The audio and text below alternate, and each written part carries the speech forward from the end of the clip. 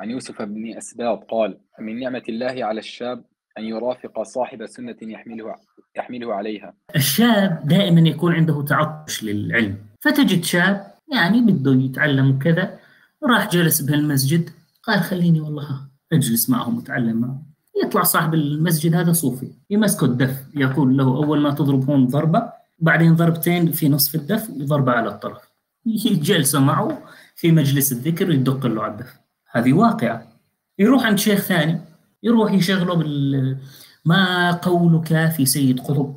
ما قولك في آه، سلمان العودة؟ وهل تعلم أن أبا إسحاق الحويني؟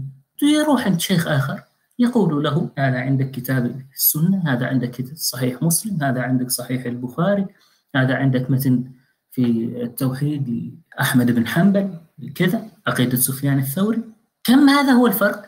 الشاب فعليا الإنسان في بداية طلبه للعلم يكون يعني خامة قابلة للتشكيل على أشكال متعددة.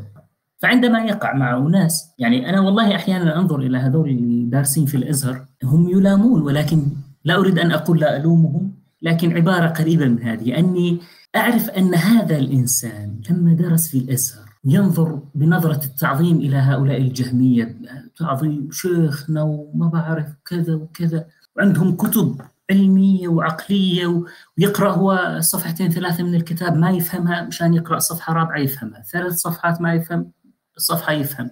فيظن أن هذا الكلام غير المفهوم هذا هو العلم. يأتيه باقي الشيخ مشان يحلل له هذه المسألة ويقول له هذا القول معناه كذا أشياء في علم الكلام عويصة فهو يتخيل أن هذا هو العلم وهذا هو التدقيق وهذا هو التحرير وكذا. وهؤلاء مجسمة وإلزامات.